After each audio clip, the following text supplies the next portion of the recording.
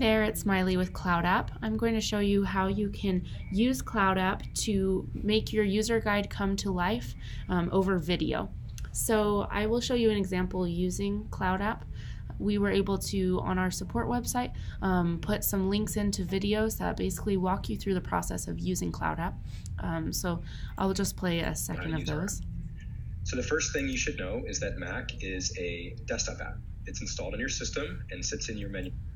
Uh, so it's a really visual and easy way to connect with your clients or employees or whoever uh, the user guide is for.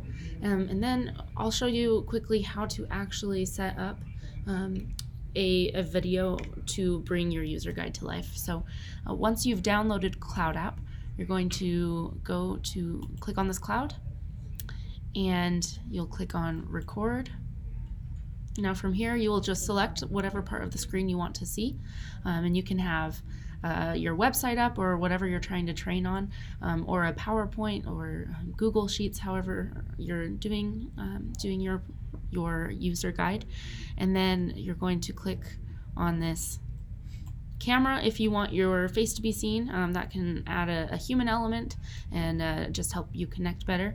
Uh, but you can always turn that off if you prefer not to. Um, and then you'll just want to make sure that your um, your microphone is on. Uh, you can choose which um, which source you want the microphone to be coming from. And then uh, you're going to click start. Now it'll count down, and from here you can basically talk about whatever it is you're talking about with your user guide. Uh, you can scroll through and click on things. It'll basically just record your screen plus you.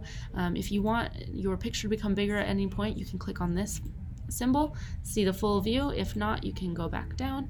Um, and then whenever you're done with the video, you'll just click finish. Um, a nice little um, link will be uh, generated after. So uh, from here, You'll see this just takes a second to upload, but once it's uploaded, you can go ahead and download the link. And once the link is there, you can share that with whoever you want. Um, and that's an easy way to bring your user guide to life. Um, it's ready now, so all you'll do is just click on that link. Um, we could go in and share it. Let's say I'm sharing it, and then this is what it will look like. So you can also name it um, and do a bunch of fun stuff there.